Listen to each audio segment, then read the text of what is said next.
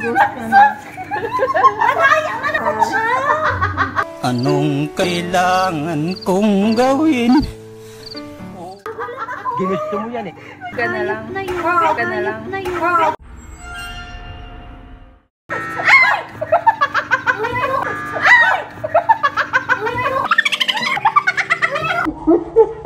Baliw ko yan eh. Sandali lang, wala hihingi. Mabalik ka na. Mabalik ka na. Patayin. Nakita niyo daw sa cafeteria. O? Ay, sige po. Tapos papasok ka doon. Pasok ka dyan. Yan, nakapatay-patay man. Ano ibig sabihin ng vel? Matago ka. Sige nga, subukan mo. Nag-record. Sana walang nakakita sa'yo.